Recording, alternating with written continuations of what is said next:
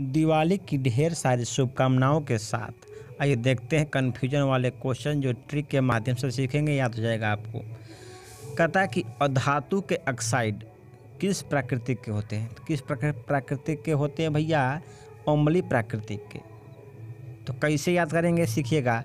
और धातु में जो शब्द शुरू होता है, किससे शुरू होता है? अ से। अ धातु अम्लीय शब्द जो होता है, यह भी अ से शुरू होता है, अम्लीय। और इसमें भी है, इसमें भी यह है। तो कह सकते हैं कि अधातु के ऑक्साइड अम्लीय प्राकृतिक के होते हैं। तो एक याद हो जाएगा, दूसरे अपने आप याद हो जाएगा, क्योंकि एक हो गया अधातु के ऑक्साइड अम्लीय प्राकृतिक के तो क्या बचा? धातु बचा। तो धातु किस प्रकृति के हो जाएगा? क्षारी प्राकृतिक के। आसान है। तो धातु के ऑक्साइड किस प्राक- प्राकृतिक के होते हैं? तो क्षारी प्राकृतिक के होते हैं। ये क्वेश्चन हमेशा एग्ज़ाम में पूछता है।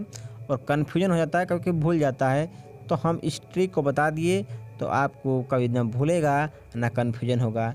रेलवे एग्ज़ाम इसको बार बार देता है, और ऐसे कन्फ्यूज़न वीडियो पाने के लिए चैनल पर बने रहिए। प्लीज़ चैनल को सब्सक्राइब करिए लाइक करिए।